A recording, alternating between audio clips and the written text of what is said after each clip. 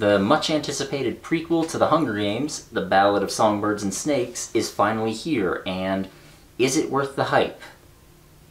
Hell yeah. This is the introduction song. It's not very good, but it's not too long. Now, uh, just I want to say real quick, uh, you might notice the video and the sound is a little crisper than it uh, normally would be. That's because I have a new camera and microphone. However, the acoustics in here aren't super great, so if I talk at my normal voice and project the way I'm, I usually do, then, you know, it sounds really bad, so I will be talking a little more subdued for now, and I'm, I'm looking for a way to fix this, but if I accidentally go above that and the sound gets weird, then I just, I apologize for that. But, so the Ballad of Songbirds and Snakes. When I first heard about this, I was pretty excited, because I thought, oh, okay, it'll be about the first rebellion where the districts tried to overthrow the Capitol and failed, or it'll be about the establishment of the Hunger Games. And then I heard that it would be about uh, Coriolanus Snow, who was the villain in the other books, President Snow, and it's all about him when he's a kid and he becomes a mentor to somebody in the 10th Hunger Games. And so when I heard that, I was a little disappointed, but I was still I was still excited for the book because you know, President Snow, um, a lot of people I think remember him as being a better villain than he really was, because in the books, he was decent, don't get me wrong, but he was much more of a he was much more of a representation of the Capitol as a whole than he was his own character. But people remember him more in the movies where he's played by Donald Sutherland and not only did they give him more scenes to work with, but Donald Sutherland just dominates every second that he's on screen, and he just knocks it out of the park with that performance. So I think a lot of people give Snow more credit than he initially had. Uh, so I was a little excited. I was a little, all right, let's let's see his rise to power. And this book isn't even really about that. It's more, it shows the beginnings of his rise to power. Don't get me wrong, but it mostly shows him as a person and how he became the tyrannical overlord of Panem. So at the beginning of this book, uh, Coriolanus, that's the name he's referred to, and it's it's a weird name, and I don't like it, but whatever. Coriolanus is in. He's living in the Capitol. He's part of a formerly wealthy family. Like his parents were killed during the rebellion, and their fortune was lost. So really, now all they have is the house, and they're just barely scraping by. But he's trying to put on the appearance that he's still wealthy, so they have to uh, go to great lengths to do that, even though they're eating like cabbage soup and stuff every day, which is kind of neat, kind of interesting. And um, while it didn't exactly make me feel bad for Snow, because even when they're talking about stuff that happened during the rebellion and how awful things were in the Capitol sometimes, and how uh, they were, some people were literally cannibalizing dead bodies because there was not enough food. Even with that, um, we don't get a whole lot of information about how uh, or why the districts rebelled the first time. Excuse me. Rather, I'm still going off the assumption that the Capitol was was uh, living pretty much the same way it was during the main series, where the districts give away pretty much everything they need except the bare minimum to survive, so that the Capitol can have this luxurious, opulent lifestyle. So, in the end, I couldn't feel that bad for them. So then, like I said, uh, Coriolanus gets picked as a mentor for a girl from District 12 who is picked to be one of the tributes in the Hunger Games.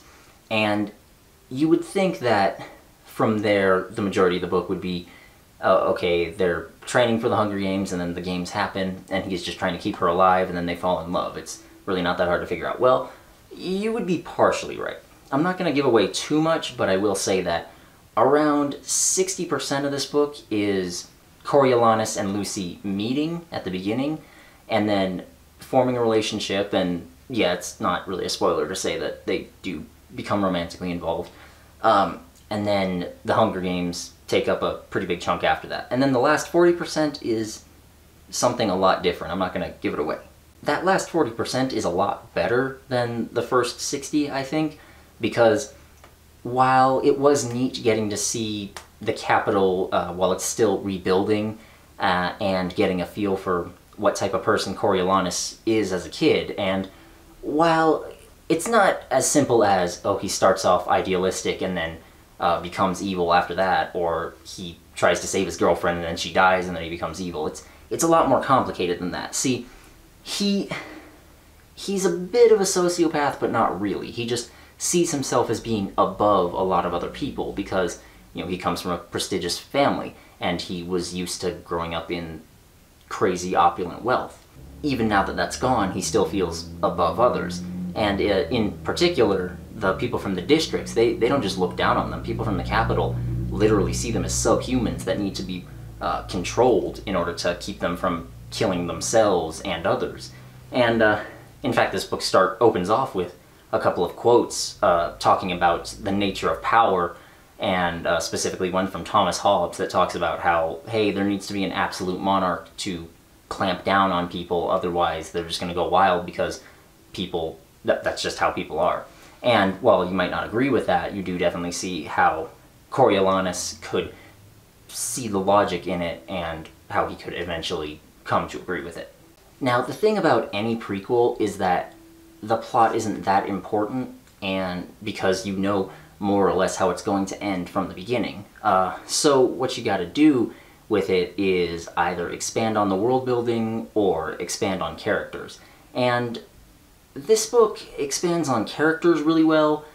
World building, eh, we'll get to that in a minute. So, characters, like I said, Snow, you get a feel for him. He's like not exactly a normal person, but you feel like, okay, he's a pretty bad dude, but he has some good to him, and that doesn't even go away at the end of the book or anything like that. Yeah, you do see him change and evolve, and you don't exactly like him, at least I didn't, but you do find yourself rooting for him a little bit.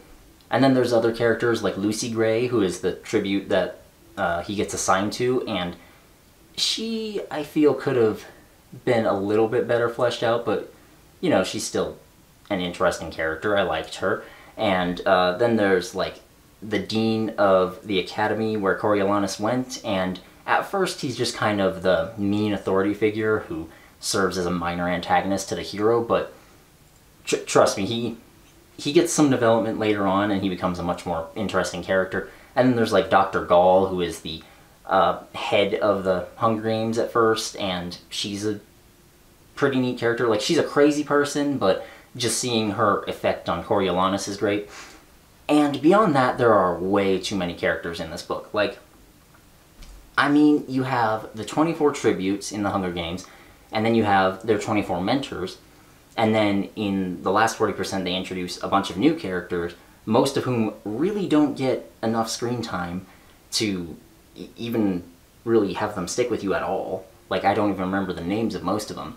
So, yeah, that was clumsy and clunky, and thing is, this is a pretty long book. It's a little over 500 pages, so you gotta be able to cut fat wherever you can. And in fact, while I wouldn't say this book went on a lot longer than it should have, there there wasn't any one subplot or anything that I felt could have been cut, but there were individual scenes and individual paragraphs that went on longer than I think they should have, and so an editor probably could have cut back on those and made this whole book probably 30 pages shorter, and I think that would have been a lot better.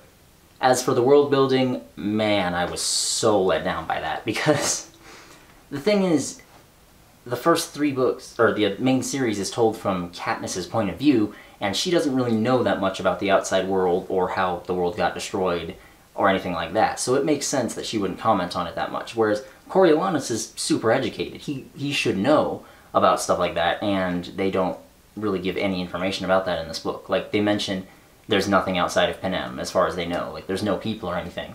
But at the same time, they mention that Panem has a navy and that there's patrols off the coast to protect them. But protect them from what? They there, there's no uh, information given, and that seems inconsistent. So there's really no extra world building here. We don't find out uh, how the first rebellion started. We don't really find out how Panem was founded. We don't find out how the world initially got destroyed. It's just a huge, huge missed opportunity, and easily the worst thing about this book. Other than that, I only have a couple of minor complaints. Like, they really are just small ones, because this book while it's not super great and it doesn't have a whole lot of action for the most part, or plot wise, I mean, it's not super great, it doesn't have a whole lot of action or twists or turns or anything. The last 50 to 60 pages are absolutely phenomenal and definitely made the journey worth it. Like, the, the ending of this is heavy. Okay, I'm, I'm not going to give away any more than that, but it's heavy. Okay, it's not like an action climax where a whole bunch of people are getting shot and you're intense, like, oh man, I hope the hero survives. It's it's a lot more complex than that. So, yeah, definitely, this book is great, but there are a few minor nitpicks. Um, for starters, well, I'll just let George Carlin say it. There's too many fucking songs. Yeah, the Lucy Gray is a singer, and there's a lot of points where they take up like two or three pages where it's just stanzas of her singing and I I just skipped over the majority of those to be honest because I hate reading songs because I never know what tune it's supposed to be or anything. I just know the lyrics and I can't really get into it. It's annoying, so I just I skip over them. While Coriolanus does clearly care about Lucy, he seems to care about her more as uh, one of the good ones from the districts, you know. And in fact, I think at one point they literally do say she's better than other people from the districts because you know they see them as being basically subhuman. Uh, but he sees her as one of the good ones basically. So yeah, that that made me like him a little bit less than he than I probably should have. Even though yeah, you're not supposed to like him all that much throughout this entire book. Don't get me wrong. He's a villain protagonist, especially at the end, but he. Uh, still, I feel like if they had worked on that, it would have made for a more compelling character study as opposed to just, oh, he's a racist and he does bad things. And uh, again, I'm, I'm making it sound worse than it really is, but it, it's not that big a deal, but it still did bother me.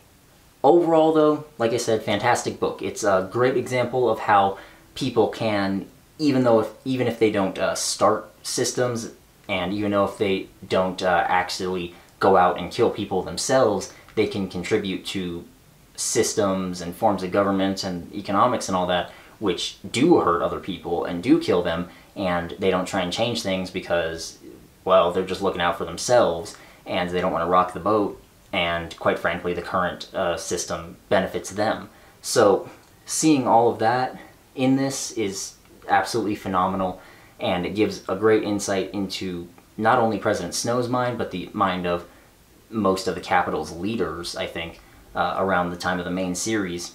And it really shows that even though, yeah, they made a lot of stupid decisions, this is th- this is how they came to those decisions. And it even gives some pretty logical explanations for why they made the Hunger Games into the big spectacle that they were, or well, even why they made the games in the first place. I mean, granted, that's still kind of stupid, and it's not the best way to keep your population in line, I don't think, but they explain it well enough that I'm willing to accept it. And then when they show about how uh, not only Snow, but some other people uh, really came along and made it into this big spectacle that it was in the main series, we see how, okay, yeah, that that's how that happened. So if you're a fan of the Hunger Games at all, then definitely read this book. It's pretty fantastic.